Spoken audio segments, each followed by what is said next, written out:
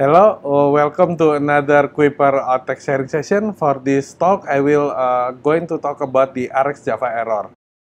Since on RX Java, it is possible that any process or operator uh, can emit an error event. So what happened when the on error is emitted? So the it will go to the on error callback on the subscriber, and after that the stream will be closed. Uh, why does the stream close is matter? Because right now uh, we have some kind of a pattern in the our app like a UI uh, the activity or the fragment is su subscribed from the event that are emitted from a view model. And secondly, and also the view model receive an event from a use case that are subscribing to a repository event. So the uh, the effect when the stream is closed that uh, the any event from the view model may not be received by the UI.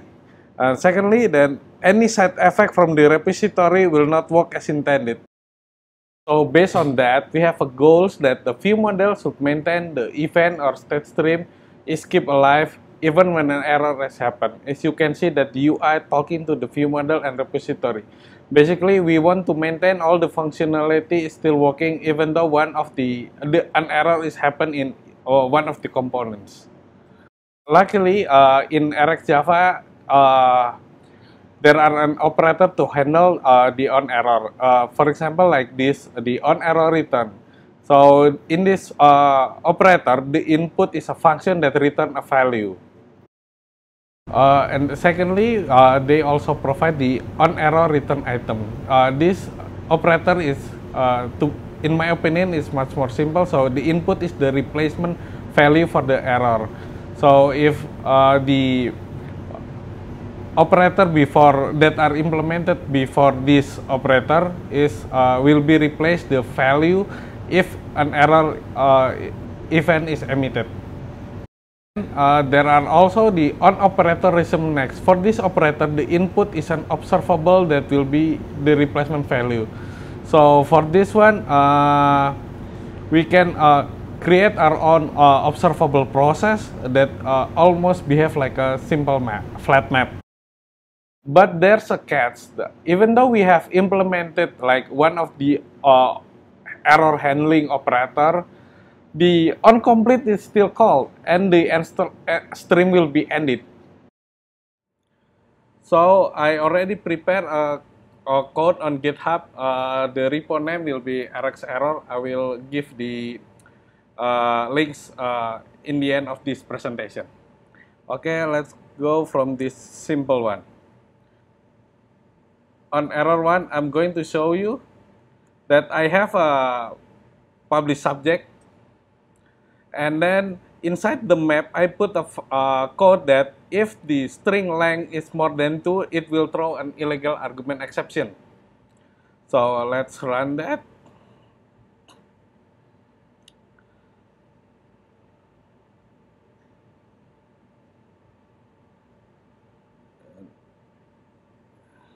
See uh, on the bottom it show the on next and then error because the word high and after that the uh, the word Kotlin is more than five uh, five character, eh more than two character. Okay, uh, how about if we using an on error return? I activate the on error return in here. It will be replaced by the string oops. Let's try to run that.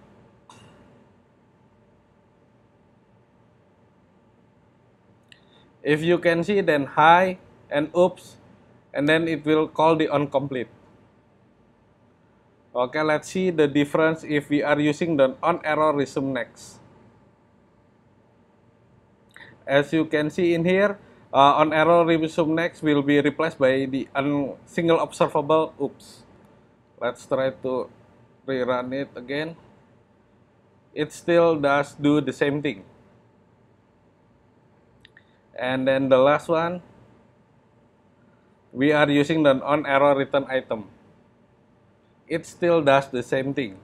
So uh, how to uh, always maintain the string emitter uh, stream will be always uh, active even though we have an uh, illegal argument exception inside of it.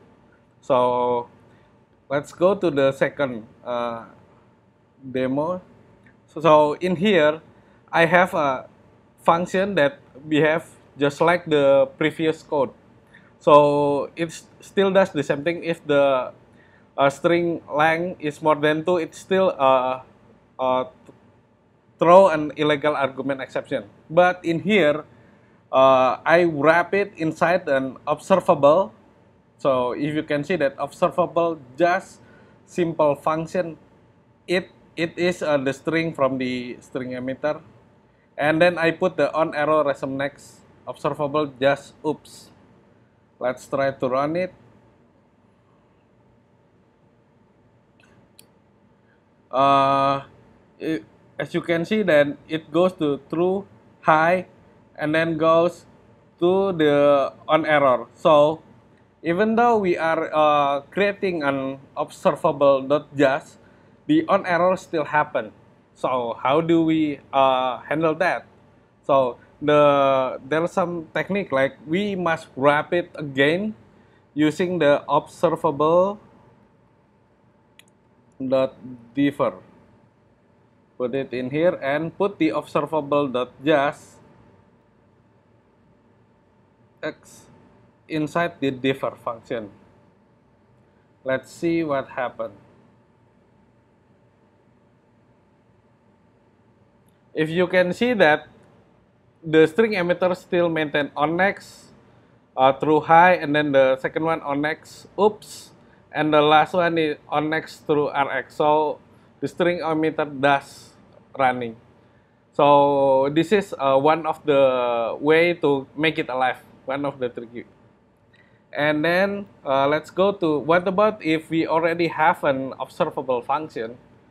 So uh, we can uh, just use uh, the same similar way. Uh, for this one, uh, we have some function called simple observable. If value length more than 2, then it will throw an error, and if uh, length is smaller than 2, then it will return an observable based on its value. So in here, if we run it, then yeah, it does. Uh, the string emitter still work. So that is uh, one of the way to make the observable uh, event uh, kept alive. Although uh, in the code there are some error event. Okay, based on that previous uh, demo, there are some tips to keep the stream alive.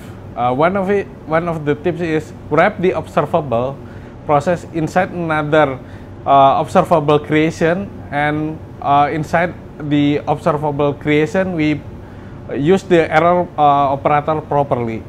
For Kotlin user, we can use the sealed class just to wrap an uh, value that are emitted. So we can use like the child, uh, the inner class of the sealed class is like the error state and also probably use the uh, success uh, shield class. Okay, thank you for watching the presentation. Here are some notes that we have to pay attention when are uh, dealing with the uh, RX Java observable. First, always expect the error will be emitted in almost all every places. So, the secondly, always override the subscriber on error. And third, use the onComplete to detect whenever a stream is closed. We can put a log inside the onComplete. And the source code is on my GitHub, uh, github.com slash bobby slash rxerror. Thank you for watching.